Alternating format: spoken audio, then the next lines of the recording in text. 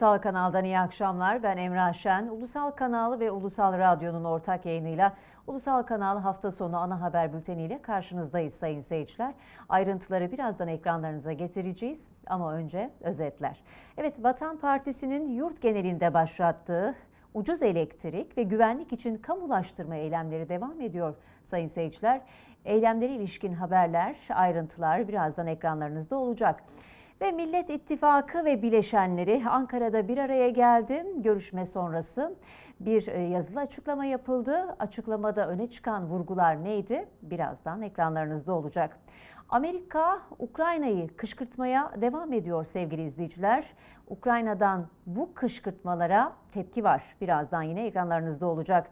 Cumhurbaşkanı Recep Tayyip Erdoğan dün yaptığı açıklamada temel gıda ürünlerinde KDV'yi %8'den %1'e indiriyoruz demişti. Erdoğan gıda sektörüne çağrı yaptı. Fiyatları pazartesi gününden itibaren indirin dedi. Evet özetler böyleydi. Ayrıntılar için hazırız. Siz de hazırsanız başlayalım.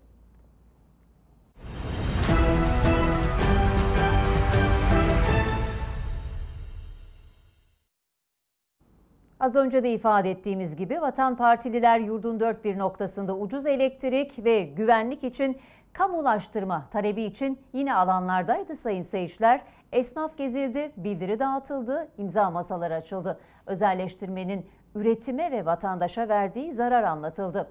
Artarak devam eden eylemlere ilgi de yoğundu. Şirketlere değil, kamuya hizmet. Devlete ait elektrik dağıtım şirketleri özelleştirildi. Sonuçlarını hep birlikte yaşıyoruz. Özel çıkar halkın çıkarının tepesine bindi.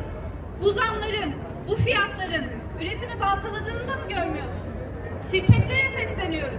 Siz kimden yanasınız? Vatan Partisi'nin ucuz elektrik için kamulaştırma programı çığ gibi büyüdü. Esnafımız faturalarını camlarına asarak tepkisini dile getiriyor. Bu çığlık bir uyarı çığlığıdır. Yurdun dört bir noktasında yapılan eylemlere yoğun ilgi oldu. O noktalardan biri İstanbul. Elektrik üretim ve dağıtımında özel şirket çıkarlarına derhal son verilsin. Ataşehir, Beylikdüzü, Gazi Osman Paşa, Bakırköy, Pendik, Bahçeli Evler'de kitlesel eylemler yapıldı. Nükleer enerji üretiminin geliştirilmesi Türkiye'nin geleceği açısından şarttır. Üretim ve güvenlik için kamulaştırmaya bir an önce gidelim ve halka ucuz elektrik verelim. Elektrik dağıtımı şirketlerine indirimler, halka ise bindirimler yapılıyor. Halk yüksek zamların altında eziliyor. Ucuz elektrik için hükümete çağrıda bulunuldu. Elektrik dağıtım şirketleri devletten aldıkları elektriği aşırı karla satıyorlar. Bu şirketler halkı ve kendilerine verilen görev ve yetkiyi suistimal etmişlerdir. Türkiye birini seçecek. Geleceğimiz ya aydınlık ya da karanlık olacak. Üretim durmayacak. Işıklarımız sönmeyecek. Hatay'da İskenderun, Samandağ ilçelerinden sonra Antakya'da da açıklama yapıldı. Üretim vurgulandı. Son gelen zamlarla zaten yüksek olan üretim maliyetleri biraz daha artmış, çiftçimizin üretim yapmasını daha da zorlaştırmış. Bu zamlar üreticiyi üretimden koparmaktadır. Ucuz elektrik ve güvenlik için elektrik dağıtım şirketleri kamulaştırılsın, zamlar geri çekilsin. Kahramanmaraş ve Sivas'ın Divriği ilçesinde de elektrik dağıtımında kamulaştırma talepleri yükseldi. Ağırlaşan enerji krizinin faturası halkın omuzlarına yüklenemez. Elektrik üretim ve dağıtımından özel çıkarlara son verilmelidir. Elektrik dağıtım kamulaştırılsın, ucuz elektrik verilsin, zamlar geri alınsın. Ucuz elektrik herkesin hakkı. Vatan Partisi'nin yurt çapında yaptığı ucuz elektrik ve güvenlik için kamulaştırma açıklamaları yerel gazetelerde geniş yer buldu. Diyarbakır'dan Edirne'ye kadar binlerce yurttaşın katıldığı eylemler manşetlerden okuyucularla paylaşıldı. Vatan Partisi elektrik dağıtımının kamulaştırılmasını ülkenin gündemine taşıdı. Yaklaşık bir haftadır yurdun dört bir noktasında eylemler yapılıyor. Ucuz elektrik çağrılarının yapıldığı kitlesel eylemlerin yanı sıra merkezi noktalarda imza masaları da açıldı. Ağırlaşan enerji krizinin faturası halkın omuzlarına yüklenemez diyen vatandaşlar eylemlere akın etti. Kamulaştırma diyor. Bir imzada siz verin. Yurt genelinde yapılan eylem ve imza kampanyası yerel basında da büyük yankı uyandırdı. Gazeteler Vatan Partisi önderliğinde yapılan elektrik dağıtımı kamulaştırılsın eylemlerini manşetlerine taşıdı.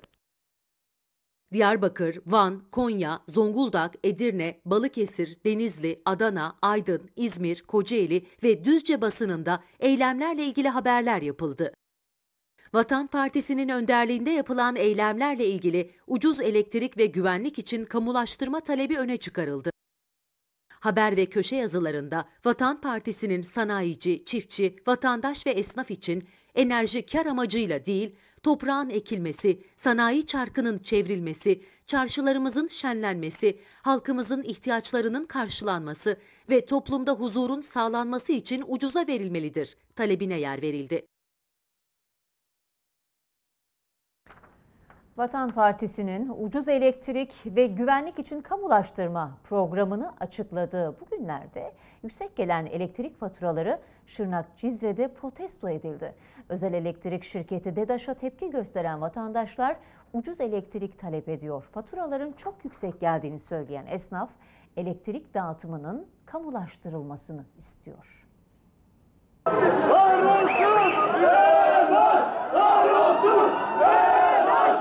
Bu sloganlar Şırnak'ın Cizre ilçesinden yükseldi. Sanat sokağında bir araya gelen vatandaşlar elektrik zamlarına karşı eylem yaptı, ucuz elektrik istedi. Cizreliler bir süre yürüyüş yaptı. Elektrik faturalarının çok yüksek geldiğini söyledi. Ben bir esnafım, çiçekçiyim. Şu anda ben 900 milyon para ödüyorum. Yani iki lamba yakıyorum. Ne klimam var, ne buzdolabım var. Elektrik dağıtımının kamulaştırılmasını isteyen yurttaşlar sorunun bir an önce çözülmesini istiyor. Ben eşim bir kızım var. 2800 lira maaş alıyorum. 3185 lira ben elektrik parası ödeyeceğim. Yemeyeceğim, içmeyeceğim, giymeyeceğim. Öbür parayı nerede ödeyeceğim? DEDAŞ binasına yürümek isteyen vatandaşlara polis izin vermedi. Eylem yapan vatandaşlar özel elektrik şirketi DEDAŞ aleyhine slogan attı.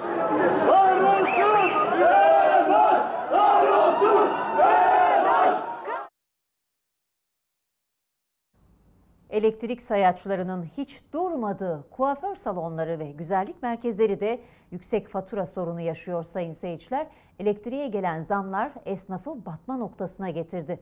İşletmecilerin ucuz elektrik için talebi de dağıtımda kamulaştırma. Geçen ay bir buçuk gelen faturam şu an 3 bin lira geldi. Karanlıkta oturuyoruz yani kısacası. Kuaförlerin ve güzellik salonlarının ekmek teknesini elektrik zamları batırdı. Fön makinelerinin ve güzellik makinelerinin çalıştığı salonların faturası son zamlarla 2'ye 3'e katlandı. Geçen ay bir buçuk gelen faturam şu an 3 bin lira geldi. İki katı yani. Yüzde yüz zamlıyız. İşler biraz daha düşmüştü diğer zamlardan dolayı. Tüketicinin alım gücü azaldığı için hatta bir nebze de daha az çalıştık ona rağmen. Yani aynı oranda çalışsaydık herhalde 4500 falan gelecekti. İnanın biz esnaf olarak çok zor durumdayız. Elektriğe gelen zamlardan en çok etkilenen işletmecilerden biri de kuaförler ve güzellik merkezleri oldu. Müşterimize biz fiyat yansıtamıyoruz her seferinde. Elektrik şu oldu, su bu oldu, doğalgaz bu oldu diye. İnanın iki katı zam geldi. O yüzden ödemekte de güçlük çekiyoruz gerçekten. Öyle ki elektrik faturaları geçtiğimiz aya göre katlanarak arttı. Geçen ay 900 lira gelen fatura bu ay 2300 lira geldi. Geçen ay 2000 lira geldi bu ay 3600 lira geldi. Geçen ay 900 lira geldi ama bu sene 2300 lira geldi. Ama tabii ki çok, çok yani esnaflara karşı çok para.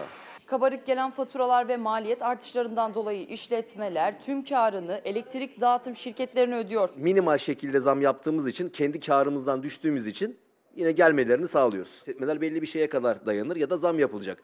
Müşteriye, müşteriye ne kadar zam yapabilirsin? Boyaya zam yaptın, elektriğe zam yaptın. Her şeyi zamlı alıyorsun bütün ürünleri ama sen bu kadar müşteriye yansıtamıyorsun. Haftada bir gelmeye başladı müşteriler. Yani bakıyoruz her zamanki gelen müşteriler iki günde bir, üç günde bir gelen müşteriler.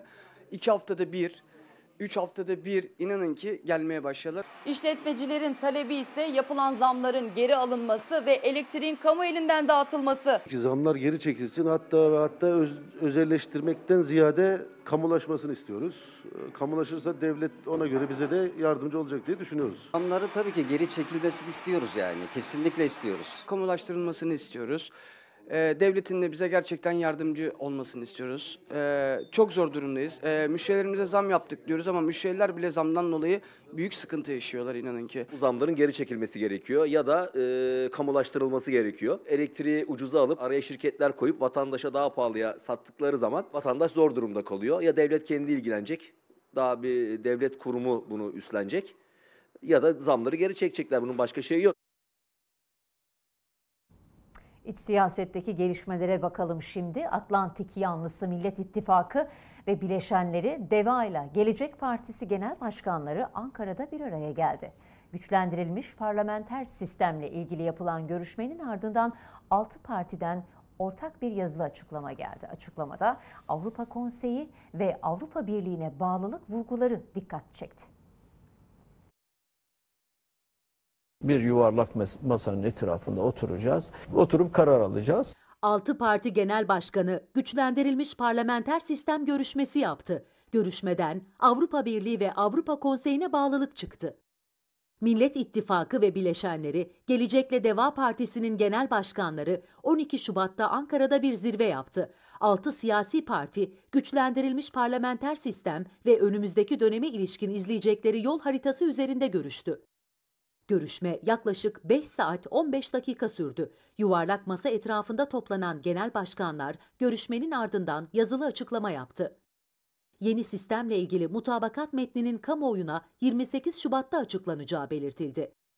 6 partinin ortak metninde Avrupa Konseyi ve Avrupa Birliği'ne bağlılık vurgusu dikkat çekti. Tüm farklılıklarımızla beraber biz düşüncesini Avrupa Konseyi ve Avrupa Birliği normları çerçevesinde temel hak ve özgürlüklerin güvence altına alındığı, herkesin kendini eşit ve özgür vatandaş olarak gördüğü demokratik bir Türkiye inşa etmektir. Diğer yandan toplantıda geleceğe dair rota çizileceği açıklansa da ittifakın yol haritası partilerin siyasi hamleleriyle zaten ortada.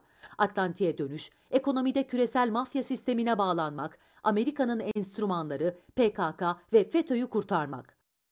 Altı partinin açıklamaları Amerikan derin devletinin kuruluşlarından Rand Corporation'ın iki yıl önce hazırladığı rapora uygun olduğunu gösterdi.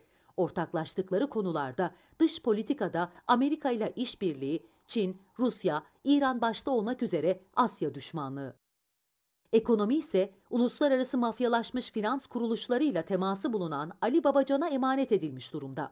Üretime dayalı ekonomi politikası yerine uluslararası finans kuruluşlarının dayattığı politikalara uyulacağı şimdiden garanti ediliyor. FETÖ ve PKK-HDP ile ittifak da 6 partinin gündeminde. PKK-HDP 3. ittifak olarak sahneye sürülürken FETÖ'yü yeniden devlete yerleştirmek için il il KHK toplantıları düzenleniyor. CHP Genel Başkanı Kemal Kılıçdaroğlu PKK'nın siyasi uzantısı HDP'den gelen zirve tepkisine yanıt verdi.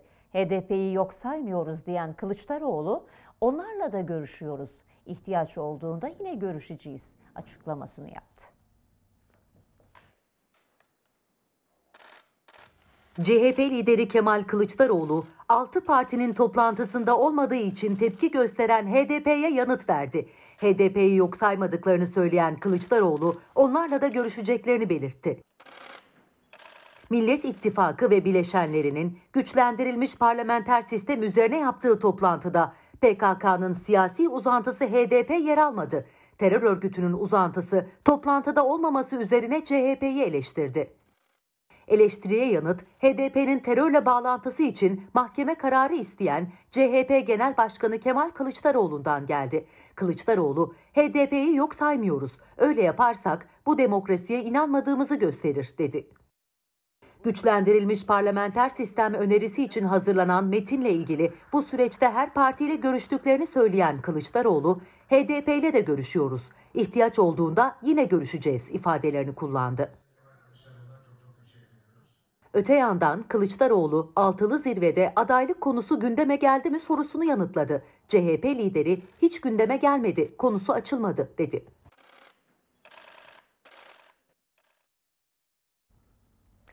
AK Parti Genel Başkan Yardımcısı Mustafa Şen, ulusal kanal canlı yayınına konuk oldu. Şen, ekonomiden dış politikaya gündeme dair önemli açıklamalar yaptı. Bir bakalım.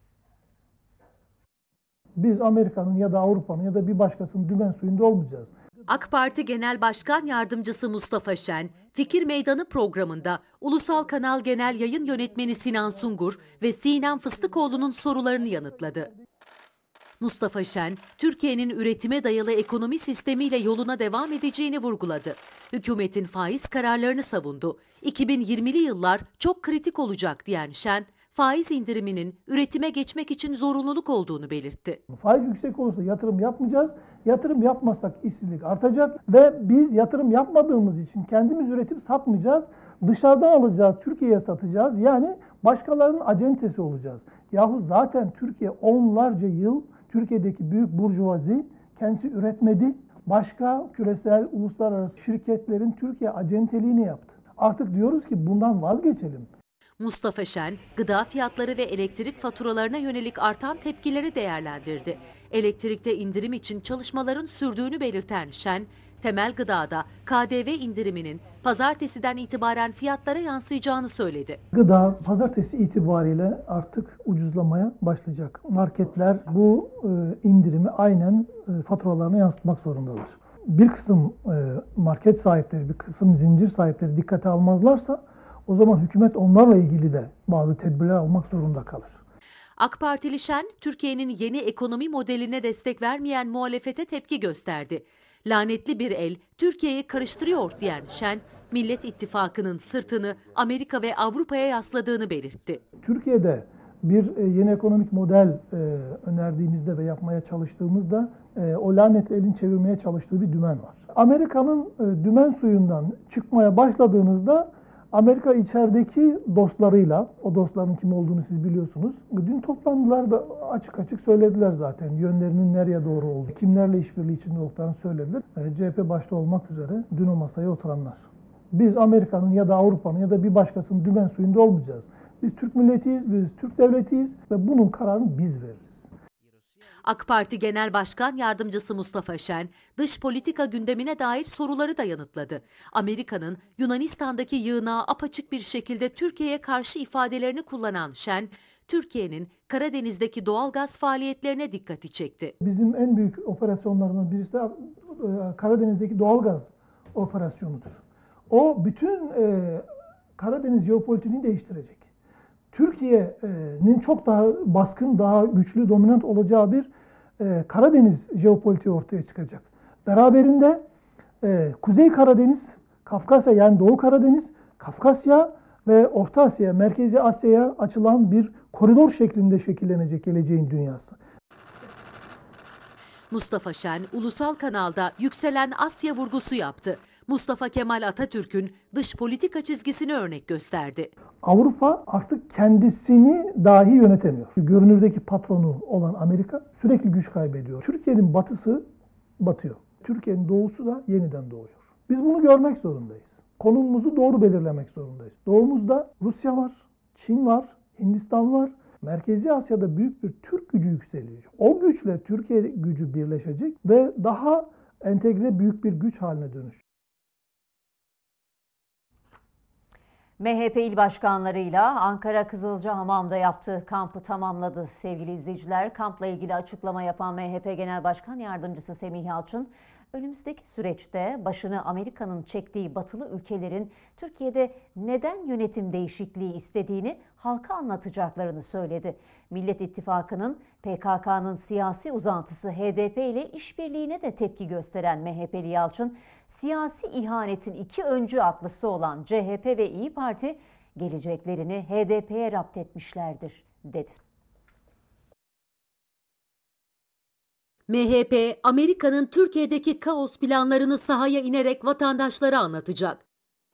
MHP'nin Ankara'nın Kızılcahamam ilçesinde il başkanlarıyla yaptığı iki günlük kamp 13 Şubat'ta sona erdi. Toplantı sonrası MHP Genel Başkan Yardımcısı Semih Yalçın yazılı açıklama yaptı.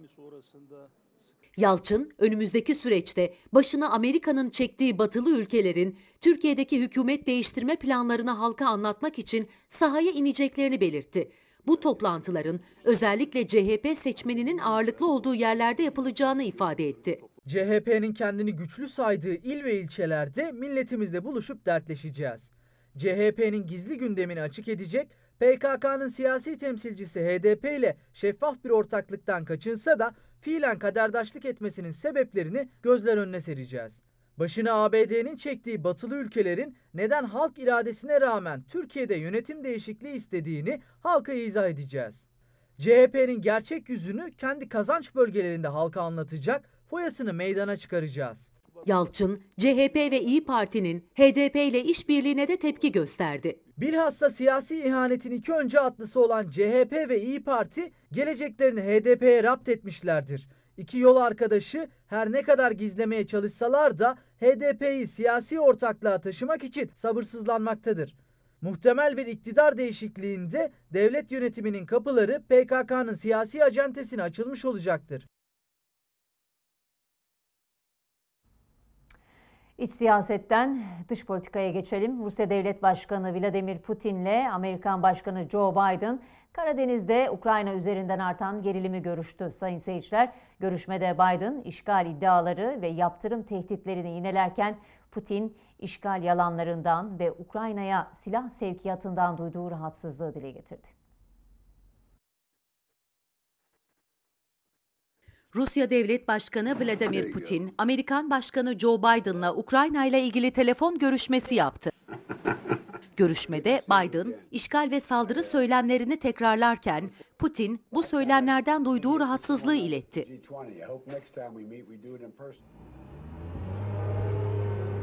Rusya'ya yönelik yaptırım tehditlerini de yineleyen Biden, gerilimin yükselmesi durumunda Ukrayna'ya askeri yardımların da artırılacağını söyledi. Rusya Devlet Başkanı Putin ise işgal ve saldırı iddialarını bir kez daha reddetti ve Amerika'yı bölgede gerginliği tırmandırmaması konusunda uyardı. Rusya Devlet Başkanı Yardımcısı Yuri Ushakov, bölgede gerilimin koordineli bir şekilde tırmandırıldığını belirtti. Biden ve Ulusal Güvenlik Danışmanı Jake Sullivan'ın son açıklamalarını hatırlatan Ushakov, son günlerde durum daha absürt seviyelere ulaştı ifadelerini kullandı. Saldırı konusu etrafındaki gerilim koordineli biçimde tırmandırılıyor ve histeri had safhaya ulaştı. Amerikalılar Rusya'nın saldırı planladığı iddiası etrafında histeriyi yapay olarak şişiriyor, saldırı tarihini veriyor. Buna paralel olarak Ukrayna ordusunun olası kışkırtıcı eylemleri için koşullar oluşturuluyor. Biz durumu böyle değerlendiriyoruz.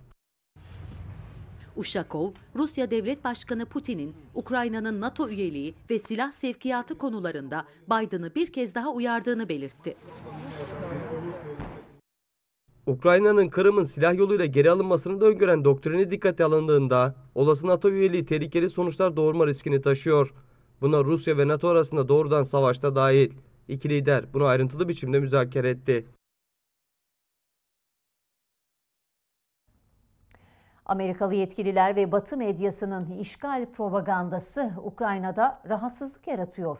Ukrayna Devlet Başkanı Zelenski, Rusya'nın ülkesini işgal edeceğine dair bir kanıt göremediğini söyledi. Zelenski, işgal olacak diyenler kanıt göstersin dedi. Amerika Birleşik Devletleri'nin kanıtsız işgal söylemi Ukrayna'yı kızdırdı.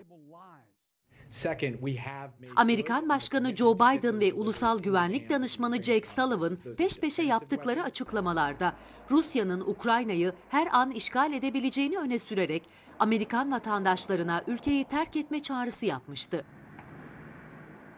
Amerika ve Batı medyasının körüklediği işgal söylemlerine Ukrayna Devlet Başkanı Vladimir Zelenski'den bir kez daha tepki geldi. Zelenski, Rusya Ukrayna'yı işgal edecek diyenler kanıt göstersin dedi. Medyada topyekun bir savaşa dair aşırı fazla bilgi olduğunu düşünüyorum. Eğer sizin veya bir başkasının elinde Rusya Federasyonu'nun Ukrayna'yı işgal edeceği yönünde %100 güvenilir bir bilgi varsa lütfen bunu bizimle paylaşın. Şu an halkın en büyük düşmanı ülkemizde panik yaşanması ve tüm bu bilgiler sadece panik yaratıyor. Bize yardımcı olmuyor. Amerikan merkezli Politico dergisinde yer alan bir makalede Amerikan Başkanı Joe Biden'ın Avrupalı liderlere sözde Rusya işgalinin 16 Şubat'ta başlayacağını söylediği öne sürüldü. Dergi söz konusu haberi ismini belirtmeyi kaynaklara dayandırdı. Politico dergisinde son dönemde çıkan Rusya-Ukrayna haberlerinin çoğu Lockheed Martin tarafından sunulmuştur ibaresiyle yayınlanıyor. Gazetenin ulusal güvenlik köşesinin sponsoru olan Lockheed Martin dünyanın en büyük silah imalatçılarından biri.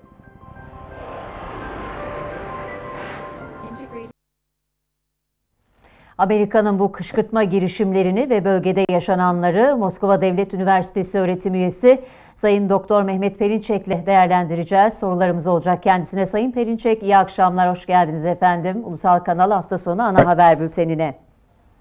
Merhabalar, iyi akşamlar. Evet, e, izlediniz. Gelişmelere vakıfsınız, yakından takip ediyorsunuz. Amerika Birleşik Devletleri kışkırtma girişimlerinin dozunu e, her geçen gün artırıyor. E, Amerika vatandaşlarına ülkeyi terk edin çağrısı yaptı. E, Zelenski'den tepki var e, bu kışkırtma girişimlerine. Varsa şayet e, bu tip e, hakikat e, o zaman ispatlayın diyor. Neler söylersiniz efendim? Neler oluyor bölgede? Buyurun. E, Amerika Birleşik Devletleri Ukrayna krizi konusunda kontrolü e, kaybetmeye e, evet. başladı. E, özellikle e, Avrupalı müttefiklerini bu konuda ikna edemez duruma geldi. Fransa'sı, Almanya'sı artık e, ABD'nin Ukrayna krizi konusunda dümen suyundan e, gitmiyorlar. E, farklı bir tavır takınıyorlar. E, bununla birlikte e, yine e, Macaristan, Hırvatistan vesaire gibi e, Avrupa'daki diğer ülkelerden de e, çeşitli itirazlar yükseliyor ve e, NATO'dan askerlerini e, bu konuda çekmeye varacak kadar ileri giden açıklamalarda e, hem Macaristan'ı hem de NATO, e, Hırvatistan'ı e, yaptı. Bununla birlikte Avrupa'daki müttefiklerini kaybederken e, Ukrayna'yı da bizzat Kiev'i de kaybetme noktasına e, geldi. Bir taraftan ABD e, Ukrayna'ya her türlü e, tabiri caizse gazı veriyor, e, kışkırtıyor. Fakat e, gerçek anlamda da e, bir destek e, göstermiyor. Silahlar vesaireler gönderiyor ama e, Rusya ile gireceği herhangi bir e, savaşta da e, Ukrayna'ya askeri anlamda bir destek göstermeyeceklerini sadece e, yaptırımlarla e, Rusya'ya yönelik çeşitli adımlar atacaklarını ifade ettiler. Bütün bunların hepsi tabii Ukrayna'da ciddi bir e, hayal kırıklığı da e, yaratmış e, durumda. Hem e, ABD'den ciddi bir desteğin gelmemesi, bununla birlikte sadece bir savaş kışkırtıcılığının yaşanması, bir savaş durumunda Rusya ile tek başına yüz yüze e, kalacak olması da Ukrayna'da sıkıntılar yaratıyor. İşte bütün bunların hepsi e, ABD açısından bir panik havası e, yarattı e, diyebiliriz. Bütün bunlara şunu da ekle, eklemek gerekir.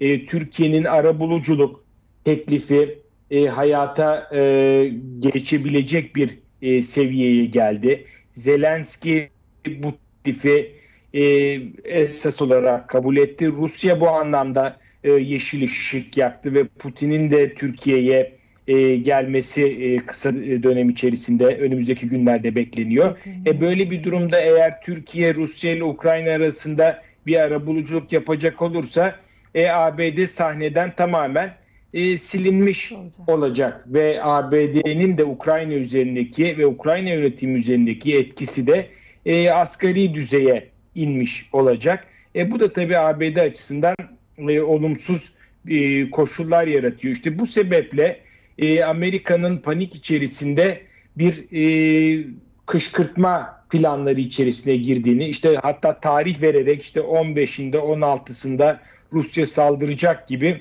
evet. e, açıklamalar yaptıklarını görüyoruz. E, bu açıklamalara artık Ukrayna yönetimi dahi e, inanmıyor. Eskiden Moskova e, yalanlıyordu ABD'yi, Washington'u. E, şimdi bakıyorsunuz Moskova'dan daha çok Ukrayna yönetiminin, Kiev'in e, yalanladığını görüyoruz. Bunlar ABD'nin e, içine e, düştüğü zor durumu gösteriyor ve savaş dışarı dışında e, kendisini kurtaracak bir seçenek olmadığını da gösteriyor. Buna mukabil Rusya'nın e, ise savaştan herhangi bir çıkarı yok. Tam tersine e, Ukrayna ile gireceği bir çatışma e, Rusya'nın aleyhine olacaktır. İstemediği bir şeydir. E, Kırım zaten Rusya'nın elinde. E, Donbas veya Lugansk bölgeleri aşağı yukarı Rusya'nın kontrolü altında. E, böyle bir durumda zaten Rusya'nın Ukrayna ile çatışıp herhangi bir e, efendim Ukrayna topraklarını işgal etmek veya şöyle yapmak gibi bir amacının veya bir e, bundan bir çıkarın olmadığını da gösteriyor. Ha ne olabilir? Rusya'nın silah kullanabileceği veya askeri tedbirler alabileceği durum o da Ukrayna'nın NATO'ya girmesi veya Ukrayna'ya Amerika Birleşik Devletleri'nin işte nükleer başlıklı füzeler yerleştirmesi veya antibalistik e, füze kalkanlarını yerleştirmesi vesaire durumunda ancak Rusya bazı askeri tedbirler alabileceğini ifade etmiştir ama şu an öyle bir durumda e, yok. E, kısa vadede de böyle bir şeyin olacağı gözükmüyor. E, bununla birlikte bu konularda yani güvenliğin sağlanması konusunda da e, Rusya'nın bazı talepleri var. Bunlar da şu an müzakere masasında bu açıdan bakıldığında da e, Rusya şu an bir çatışma veya bir e, şeyin tarafı olmak e, kesinlikle e, istemiyor. Zaman da aslında bu şekilde ilerlediği takdirde Rusya'nın lehine, ABD'nin de aleyhine işliyor. E bunların hepsi tabii e, bu kışkırtmaların ABD tarafından neden yapıldığını e, bize net bir şekilde gösteriyor. Ee, Rusya Devlet Başkanı Vladimir Putin ve Amerika Birleşik Devletleri Başkanı Joe Biden bir telefon görüşmesi gerçekleştirdiler. Aslında e, zaman zaman bu görüşmeler yapılıyor. E, yapılan e, görüşmenin içeriğine baktığımızda e, her iki tarafında kararlı olduklarını e, ve geri adım atmadığını görüyoruz. Bu görüşmeye ilişkin neler söylersiniz? Buyurun. E, bu görüşmelerden çok fazla e, bir şey çıkmasını e, beklemek e, mümkün değil. Ancak şu şekilde tabii ABD ile Rusya arasında bir uzlaşma olabilir. Amerika Birleşik Devletleri bölgedeki saldırgan politikalarından vazgeçtiği takdirde tabii Rusya ile e, ABD arasında, Moskova ile Washington arasında bir uzlaşma söz konusu olabilir. Ancak e, ABD bu saldırgan politikalarını sürdürdüğü takdirde e, Moskova'nın kendi e, ulusal güvenliğini sağlamak açısından bir geri adım atmayacağını ifade edebiliriz. E, bu açıdan bu görüşmelerden çıkabilecek e, tek sonuç ancak ve ancak e, ABD'nin e, Rusya'ya yönelik sadece Rusya'da yönelik değil bölgeye yönelik e, tehditkar politikalarından, yayılmacı ve emperyalist politikalarından vazgeçmesi veya geri adım atması e, olacaktır. E, bu Amerika Birleşik Devletleri açısından önümüzdeki süreçte de kaçınılmaz olduğunu da söylemek lazım. ABD e, dünya hakimiyetini kaybediyor. Çok kutuplu bir dünya kuruluyor. Kendi müttefikleri tarafından e, yalnız e, bırakılıyor. E, kendi eski kullandığı kuklalar ABD'yi birer birer e, terk ediyor. E, böyle bir durumda tabii Amerika'da eninde sonunda e, bu saldırgan politikalarından vazgeçmek zorunda e, kalacak. Bu tabii ne kadar erken yaşanırsa hem dünya barışı açısından hem de Amerika Birleşik Devletleri açısından o kadar da hayırlı olacaktır. Peki çok teşekkür ediyorum. Moskova Devlet Üniversitesi öğretim üyesi Sayın Doktor Mehmet Perinçek katkılarınız için, değerlendirmeleriniz için iyi akşamlar, kolay gelsin efendim. Sağ olun, iyi yayınlar diliyorum. Çok teşekkür ediyorum, iyi akşamlar. Evet gelişmelerle devam edelim sevgili izleyiciler. Cumhurbaşkanı Erdoğan koronavirüs tedavisi sonrası ilk ziyaretini Birleşik Arap Emirlikleri'ne yapacak. Ziyareti öncesi Birleşik Arap Emirlikleri basını için bir yazı kaleme alan Erdoğan, iki ülke arasındaki işbirliği alanlarının artması bölgemize de olumlu yansıyacaktır ifadelerini kullandı. Cumhurbaşkanı Tayyip Erdoğan 14-15 Şubat'ta Birleşik Arap Emirlikleri'ne resmi ziyarette bulunacak. Ziyarette Türkiye ile Birleşik Arap Emirlikleri arasındaki ilişkiler tüm yönleriyle değerlendirilerek işbirliğinin artırılmasına yönelik adımlar ele alınacak. Bölgesel ve uluslararası gelişmeler hakkında görüş alışverişinde bulunulacak. Cumhurbaşkanı Erdoğan ziyareti öncesinde Birleşik Arap Emirlikleri'nde yayınlanan Kalej Times gazetesi için bir makale kaleme aldı. Erdoğan makalede iki ülke arasındaki işbirliği alanlarının artması bölgemize de olumlu yansıyacaktır ifadelerini kullandı.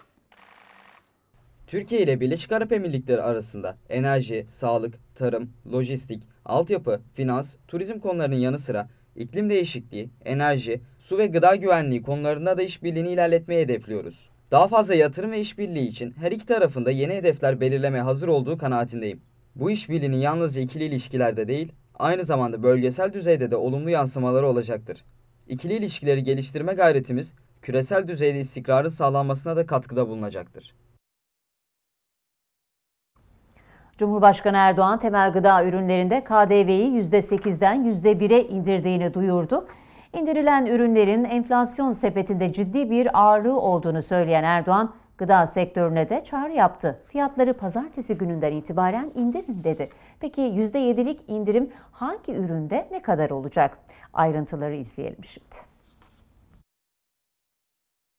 Temel gıda ürünlerinde yüzde sekiz olan KDV'yi yüzde bire indiriyoruz. Yeni düzenlemeyle gıda ürünlerinde devlet adına yüzde yedilik bir indirim yapmış oluyoruz.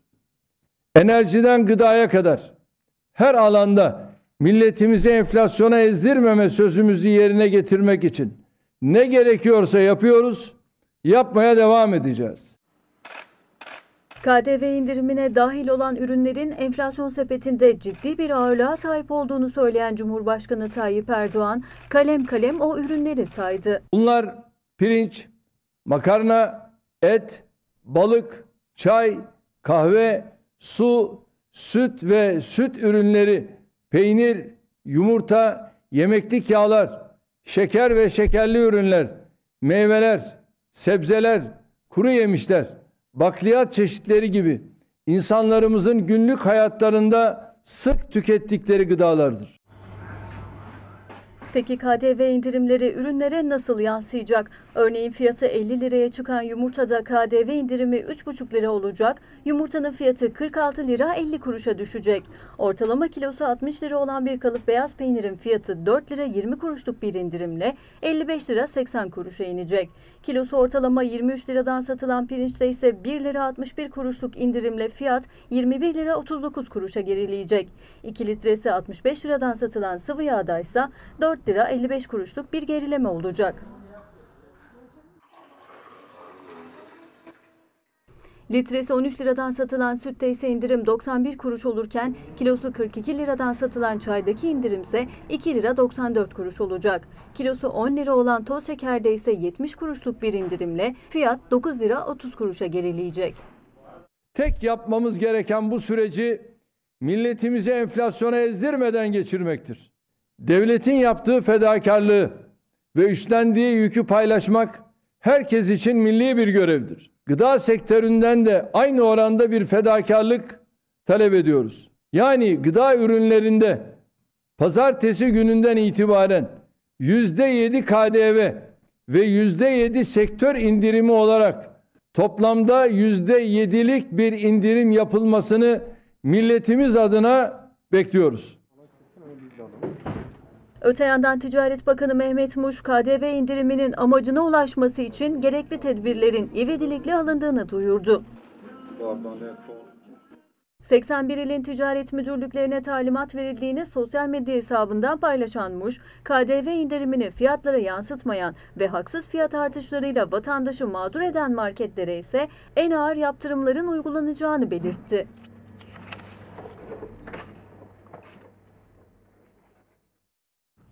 Hazine ve Maliye Bakanı Nurettin Nebati'nin açıkladığı yastık altı altınların ekonomiye kazandırılması çalışmasının ayrıntıları belli oldu. Fiziki altın teslim noktaları bankalar, platformlar ve kuyumcular olacak. Vatandaş kuyumcular üzerinden fiziki altınlarını sisteme aktaracak ve sistemden çekebilecek. Yıl sonuna kadarsa 10 bin kuyumcu sisteme dahil edilecek. Yastık altı altınların ekonomiye kazandırılmasına yönelik yeni tedbirlerin ayrıntıları netleşti. Hazine ve Maliye Bakanı Nurettin Nebati'nin açıkladığı çalışmada kuyumcu, rafineri ve banka arasında üçlü bir mutabakat veya teyit sistemi oluşturulacak. Kişiler kuyumcular üzerinden fiziki altınlarını sisteme aktaracak ve sistemden çekebilecek.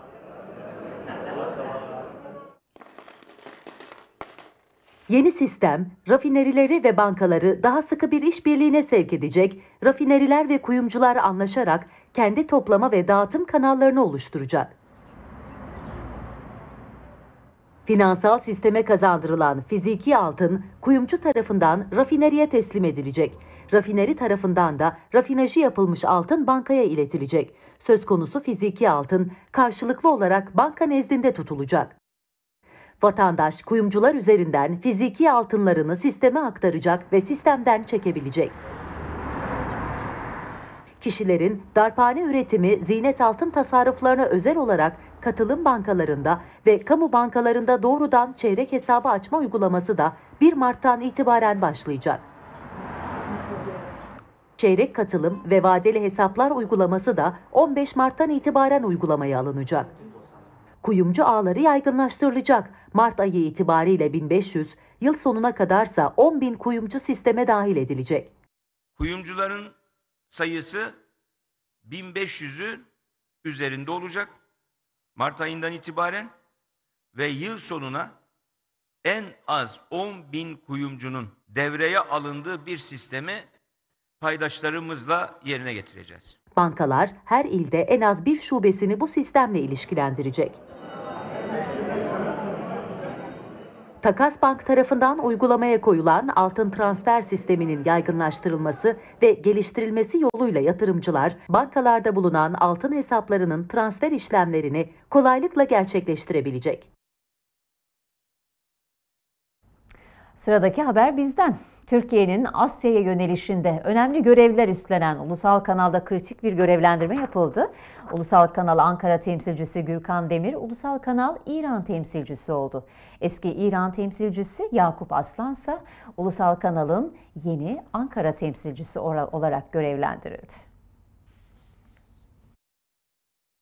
Başkent Ankara'daki Hasan Yalçın stüdyomuzdan karşınızdayız. Ulusal Kanal, Türkiye'nin Asya'ya yönelişinin sesi olmaya devam ediyor.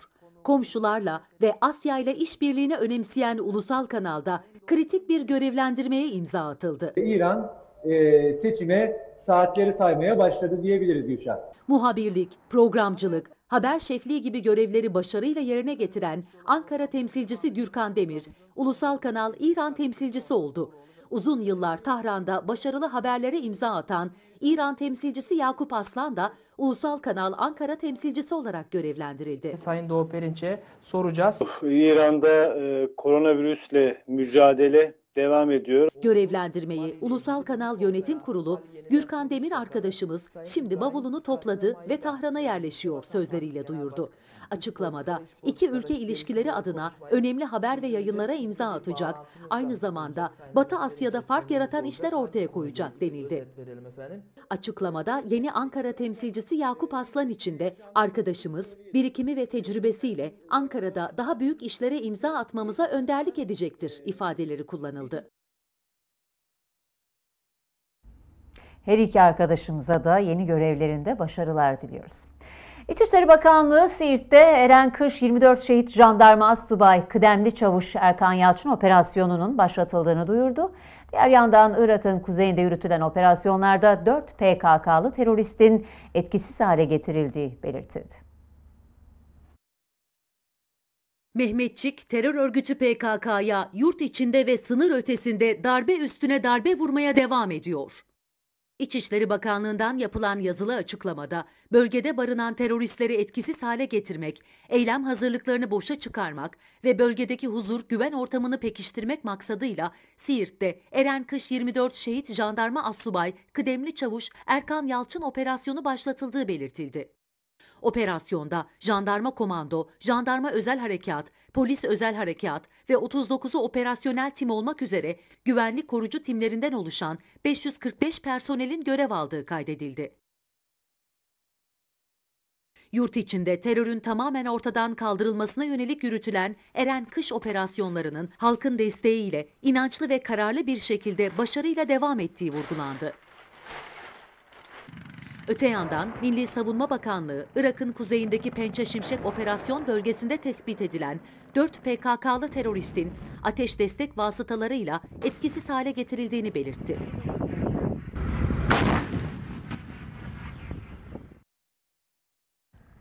PKK'nın siyasi ayağı HDP'nin milletvekillerinden oluşan heyet, Irak'ın Süleymaniye'deki YPG PKK temsilciliğini ziyaret etti. HDP'li heyet YPG temsilcileriyle bir dizi görüşme yaptı. PKK'nın siyasi uzantısı olduğu gerekçesiyle hakkında kapatma davası açılan HDP'nin terör örgütünün Süleymaniye'deki temsilciliğini ziyaret ettiği ortaya çıktı. HDP milletvekillerinden oluşan heyet Irak ziyareti kapsamında geçen hafta Irak, Sincar ve Mahmur'daydı. O ziyaretler de HDP'nin sosyal medya hesabından duyuruldu. Milletvekillerinin ziyaretlerini HDP 9 Şubat'ta Twitter hesabından duyurdu. HDP heyetinin bölgedeki bir sonraki durağının Süleymaniye olduğu ortaya çıktı. Dört milletvekili o ziyaret sırasında terör örgütü PKK-YPG'nin Süleymaniye'deki temsilciliğini de ziyaret etti. Ziyarete ilişkin fotoğraflar PKK ve HDP'ye yakın internet sitelerinde yayınlandı. Görüşmede HDP'li isimlerin ölen PKK'lı teröristler için üzüntülerini dile getirdiği belirtildi. İçişleri Bakanı Süleyman Soylu, Gaziantep'te Diyarbakır annelerinin başarısına dikkat çekti. Verilen mücadelenin önemli olduğunu söyleyen bakan, anneler Amerika'yı, Avrupa'yı ve Batı'yı tokatlıyor dedi. Anneler büyük bir cesaret ortaya. Diyarbakır'ın birçok sivil toplum örgütü sessiz kaldı. Diyarbakır'da her şeye ses çıkaranlar, söz çıkaranlar annelere siz haklısınız diyemediler. Bizim arkadaşlarımızın dışında. Hak diyenler, hukuk diyenler, güya adalet diyenler, sözde bunları ifade edenler, özgürlük diyenler, siz çocuklarınızı özlediğiniz için buradasınız diyemediler.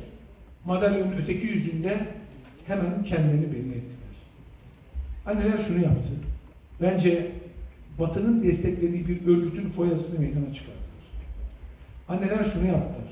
Sadece çocuklarının bir kısmına kavuşup bir kısmını da kavuşmak için inatlarını ve dirençlerini sürdürmüyorlar. Amerika'yı tokatlıyorlar. Avrupa'yı ve Batı'yı tokatlıyorlar. Bizim in, inancımız, bizim gücümüz sizi yener diyorlar. PKK terör örgütüyle yaptığımız mücadele elbette ki bir mücadele. Ama onları hani yağ koyup da eritirler ya tavanın içerisinde yağ dediğini seyredersiniz. Diyarbakır anneleri PKK terör örgütünü yağın tavada erittiği gibi eritiyor. Türkiye'nin en önemli geçiş güzergahları arasında bulunan Bolu'da görev yapan komandolar zorlu şartlarda ve eğitimlerinden geçerek göreve hazırlanıyor. Komandolar İstanbul'un Anadolu'ya açılan kapısı olarak nitelendirilen Bolu'da gerçeği aratmayan tatbikatlar yapıyor. Bolu İl Jandarma Komutanlığı, Asayiş Komando Bölük Komutanlığı'nda görevli askerler, kar kalınlığının yer yer bir metreyi bulduğu bölgelerde ve ormanlık alanlarda belirli zamanlarda tatbikatlar yapıyor.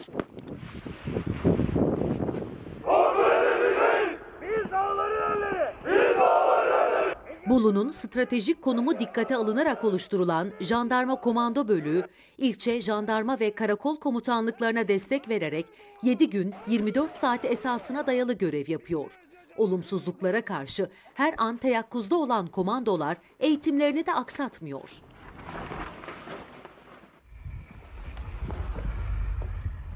Özellikle yılın 4 ayı kar altında kalan Bolu Dağı, Köroğlu Dağları, Aladağ, Arkut ve Çele Dağları'yla Abant, Yedigöller ve Kartalkaya'da eğitimler sürüyor. Öte yandan %65'i ormanlarla kaplı alanlarda yaşanabilecek olaylara müdahaleye hazır olmak isteyen komandoların yaptığı tatbikatlar gerçeği aratmıyor.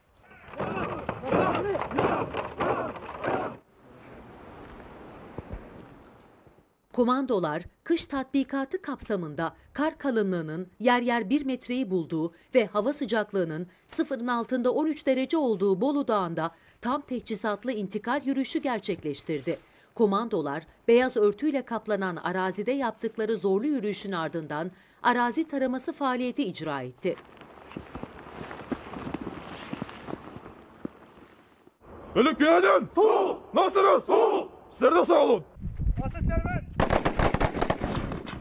Komandolar tabanca ve tüfekle ağır makineli silahlarla atış yaparak karşılarına yerleştirilen hedefleri tam isabetle vurdu. Dosta güven, düşmana korku salan tatbikat komando andıyla tamamlandı. Bolu Jandarma Asayiş Komando Bölük Komutanlığımız, emniyet ve asayiş ile kamu düzeni korumak, vatandaşlarımızın huzur ve güveni temin etmek amacıyla gece ve gündüz mesai mefhumu gözetmeksizin milletimizin emrinde daima hazırdır. Hazır mısınız? Daima hazırız. Hazır mısınız? Daima hazırız. Hazır mısınız? Daima hazırız. Allah sizleri korusun. Cumhuriyet Kadınları Derneği'nin başlattığı uyuşturucuya karşı anneler hareketi büyüyor. Hatay'da toplantı yapan kadınlar uyuşturucuya karşı aileleri mücadeleye çağırdı. Avrupa'da iki kat insan bize göre uyuşturucudan ölüyor. Medeni Avrupa. Uyuşturucuya savaş açan Cumhuriyet Kadınları Derneği çalışmalarını hızlandırdı. Ergenlik dönemi en önemli dönem. Uyuşturucuya başlama yönünden de en riskli olduğumuz dönem. Uyuşturucuya karşı Anneler Hareketi adıyla mücadele yürüten Cumhuriyet Kadınları Derneği üyeleri Hatay'da toplantı yaptı. Eğitim seminerini başlattık. Projemiz Türkiye çapında derneğimizin genel merkeziyle İçişleri Bakanlığı ortak projesidir. CKD Genel Başkanı Profesör Doktor Tülin Oygür toplantıda sunum yaptı. Ben bunu az arzuladığım kadar tüketmeyen topluma ben bu uyuşturucu maddeyi nasıl arzu. Birçok noktada çalışma yürüten dernek üyeleri aileleri göreve çağırıyor.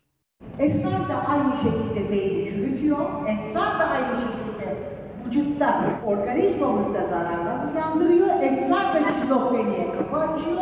Esrar da IQ'muzda 7-8 puanlık düşüş yapıyor. Oygür uyuşturucuya karşı herkesi göreve davet etti.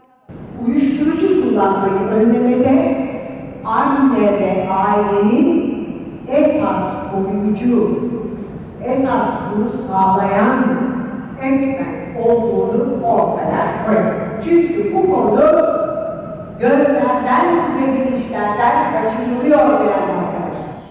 Tiyatro oyuncusu Mansur Erk de etkinlik kapsamında kısa oyunlar sergiledi. mızrak çuvala sığmayan değil, gençler ne bir anlayış görebildiler ne de alabildiler küçücük bir yardım.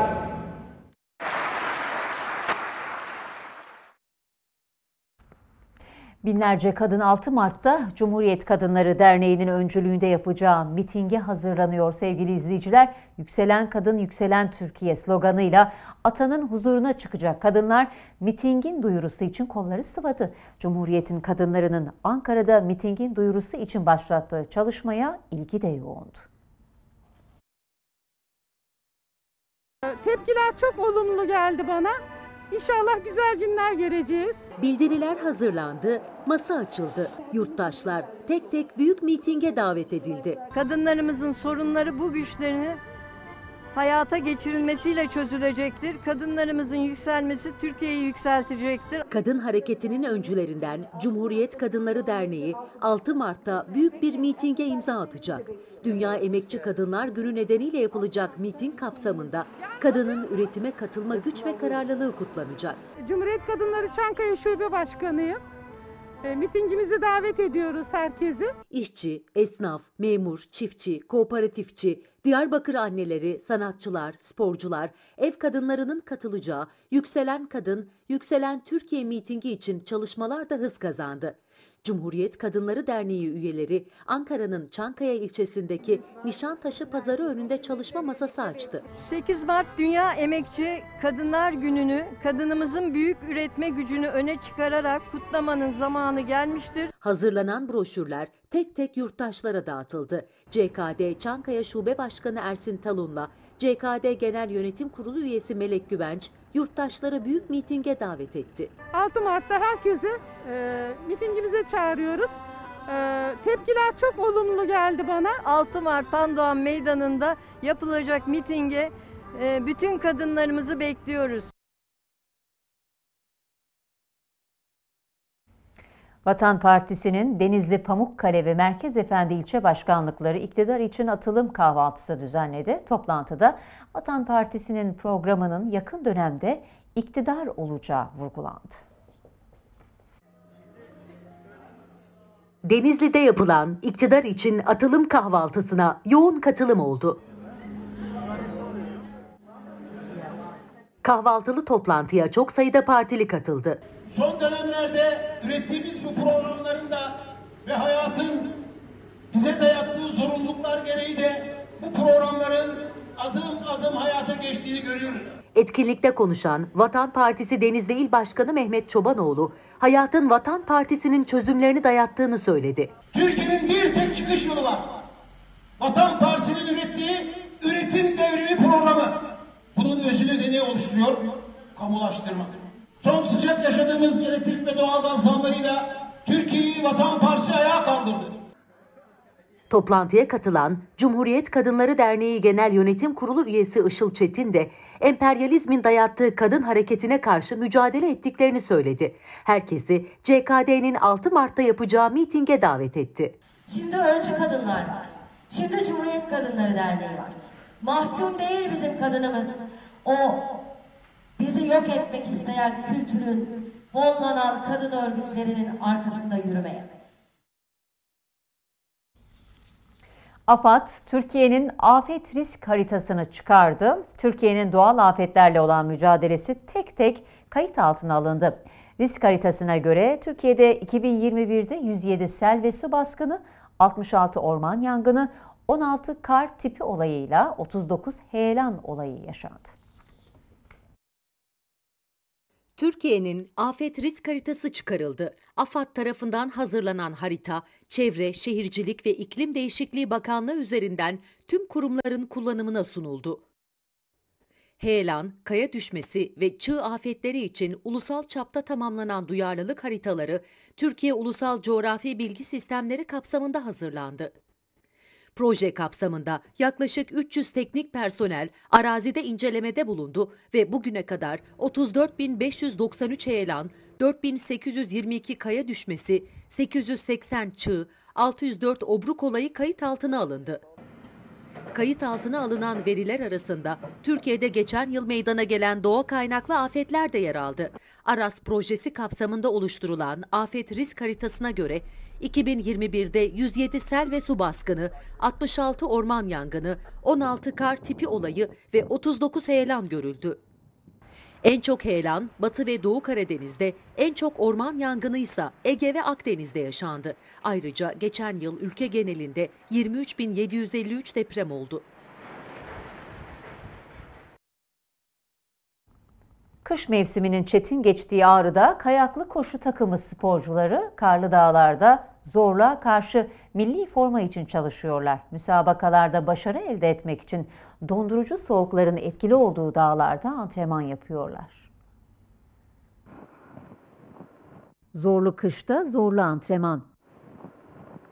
Son yılların en çetin kışının yaşandığı Ağrı'da kayaklı koşu takımı sporcuları milli formayı kapmak ve müsabakalarda başarı elde etmek için dondurucu soğukların etkili olduğu karlı dağlarda antrenman yapıyorlar.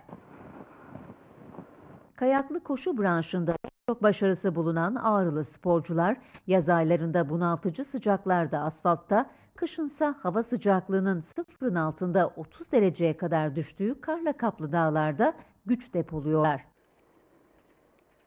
Haftanın belirli günlerinde Küpkıran mahallesinde bulunan dağlık alanda bir araya gelen sporcular antrenörleri eşliğinde ağırlıklı olarak teknik, kuvvet ve sürat antrenmanları yapıyorlar.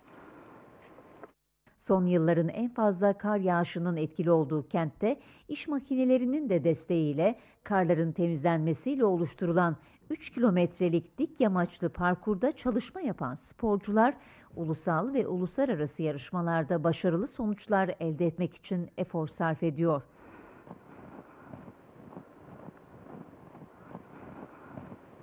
Maalesef kışımız çok ağır geçiyor ama geçmesi bizi hiçbir şekilde e, engellemiyor, sporcularımızı da engellemiyor. Havaya aldırmadan antrenmanlarını sürdüren sporcuların zaman zaman sakal ve kirpikleri kırağı tutuyor. Ada antrenman iyi gidiyor yani sıkı giyinmeye çalışıyoruz. E, Eksi 25-30 derecelerde antrenman yapıyoruz.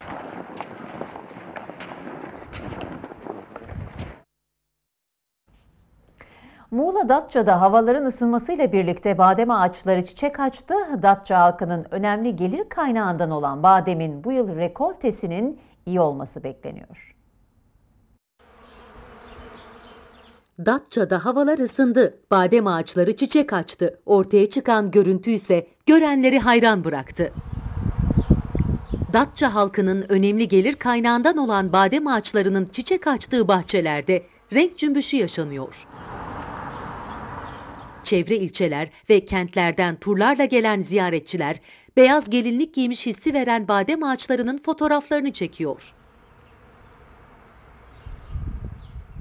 Ünlü Datça bademinin bu yıl rekoltesinin iyi olması bekleniyor.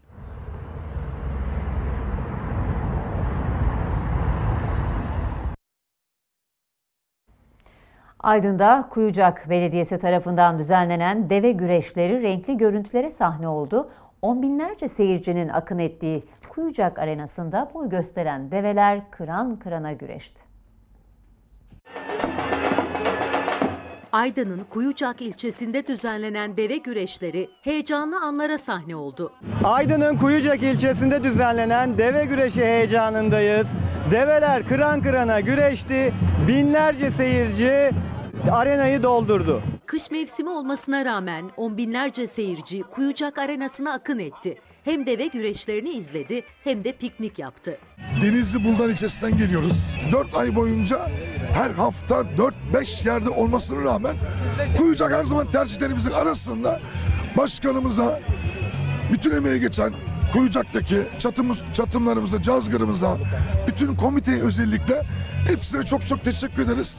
Horsun'dan geliyorum. Ben de ilk defa geliyorum arkadaşlarla. Yani güzel bir yermiş. Hem e, bu kadar çok deveyi bir yerde görüyoruz hem de ailecek vakit geçirmiş oluyoruz. Yani bir pazarımızı değerlendirmiş olduk ailecek. Arkadaşlarla beraber hem pek piknik havasında hem de ve görüşünü izleyerek güzel bir gün geçirmek amacıyla geldik yani. Çok güzel organizasyon var. İyi bir tertip komitesi var. E, Kendilerini tebrik ediyorum. Güzel bir güleş oluyor. Bayanlar için de iyiydi. Ben çoktan gelmemiştim. İyi oldu benim için bir değişiklik oldu. Ortam da çok güzel yani iyi. Belediye başkanımız teşekkür ederiz. Kuyucak Belediye Başkanı Metin Ertürk, güreşlere ev sahipliği yapmaktan memnuniyet duyduklarını söyledi. Ee, geçtiğimiz yıl pandemi nedeniyle e, yapamamıştık, ertelenmişti. Bu yıl havamız güzel, e, gayet güzel de bir e, ortam var. Güreşlerimizi ücretsiz yapıyoruz. Şu anda e, 130 adet deve var katılan. İşte Ege bölgesinin, Çanakkale bölgesinin ve Akdeniz bölgesinin pehlivan develeri burada. Güzel güreşler oluyor. Hakikaten vatandaşımız özlemiş, ben öyle görüyorum. Çok güzel bir katılım var. Yani 25 bin civarında bir katılım görülüyor şu anda.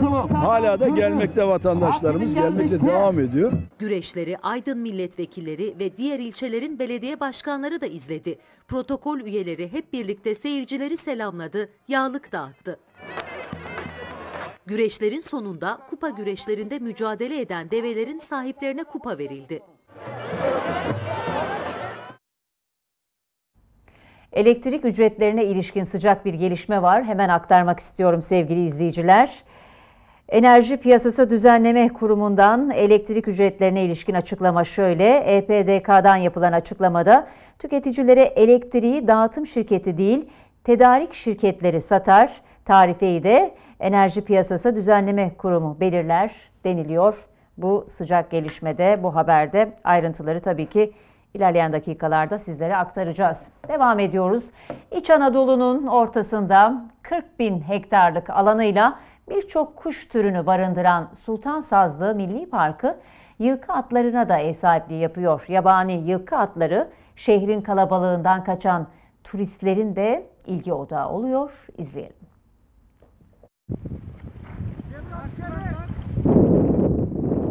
Erciyes'in eteklerindeki sultan sazlığı yabani yılkı atlarına da ev sahipliği yapıyor.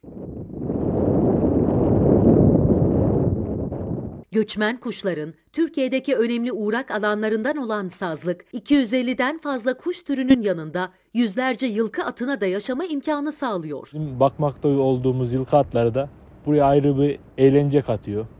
Buranın havasını daha da güzelleştiriyor. Yılkı atlarına bölge halkı tarafından doğal yaşam alanları bozulmadan bakılıyor. Sazlıkta dört nala koşan yılkı atları İç Anadolu'nun en yüksek dağı Erciyes'le birlikte doğa severlere görsel şölen sunuyor. Gelen misafirler, turistler onlarla ilgilenmekten zevk alıyorlar. Özellikle e, insanların kendilerini kötü hissettiği zamanlarda atlar onlara kendilerini daha iyi hissettiriyor. Liderlerinin peşinden sazlıkta dolaşan atlar, kış aylarında otların azalması nedeniyle bölgede yaşayanların bıraktığı yiyeceklerle besleniyor. Yılkı atları şehrin kalabalığından kaçan turistlerin ilgi odağı oluyor.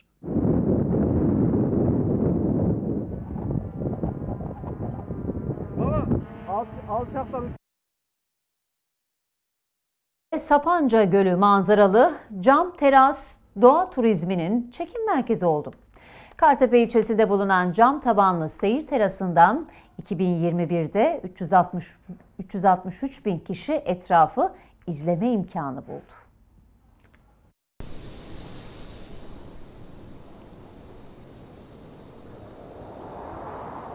Kocaeli'nde Orman Genel Müdürlüğü'ne ait C tipi mesire alanı içerisinde bulunan Sapanca Gölü manzaralı seyir terası, Kartepe'nin en önemli çekim merkezleri arasında yer alıyor. Yerden yüksekliği 185 metre, cam taban alanı 105 metrekare olan seyir terası 4 mevsim boyunca kullanılabiliyor. Kartepe'nin eşsiz doğasında yaşanan mevsim değişimlerinin en iyi izlendiği mekan, kış aylarında Samanlı Dağları'nın karla kaplı ormanlarına farklı bir açıdan tanıklık etme imkanı sunuyor.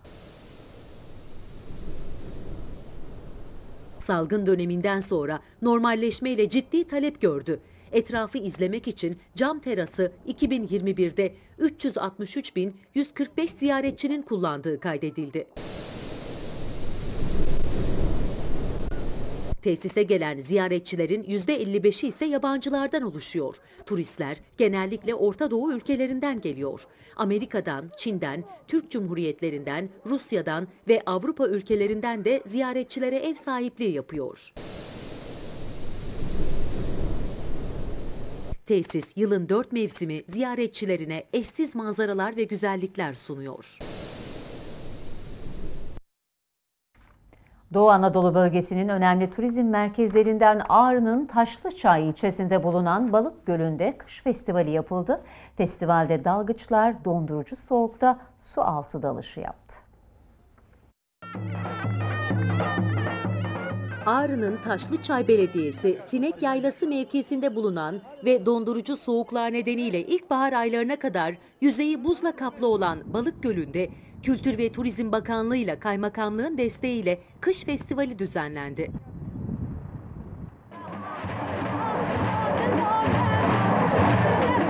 Tamamen buz ve karla kaplanan göl üzerinde kışın ilk defa düzenlenen festivale vatandaşlar belediye araçlarıyla ücretsiz getirildi.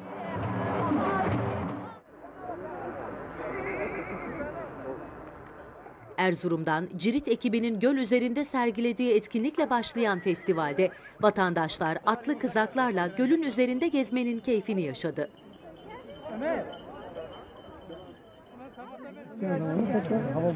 İstanbul'dan gelen Sualtı Fotoğrafçıları ve Filmcileri Derneği'nden dalgıçlar da suyun yüzeyinde bir metreyi bulan buzların kırılmasıyla hazırlıklarını yapıp suya daldı. Sonra kaya kaya gidebiliriz. Vatandaşlar dondurucu soğukta gölün derinliklerine dalış yapan ve burada fotoğraf ve video çeken dalgıçları ilgiyle izledi. Bugün gördüğünüz gibi bugüne kadar Ağrı tarihinde belki Balıkgöl tarihinde bir ilkini gerçekleştirdik. Ee, Birinci kış festivalini biz bugün burada gerçekleştirdik. Biz daha önce yaz festivallerini yapmıştık. Birinci ve ikinci yaz festivali, geleneksel yaz festivali yapmıştık. Ama e, biz e, bu sene birinci kış festival, geleneksel kış festivalini gerçekleştirdik. Biz artık Balık Gölü e, yaz ve kış etkinlikleriyle e, tanıtıyoruz Türkiye'ye ve aynı zamanda Türkiye'nin turizmine de katkı sunacak bir gölümüz.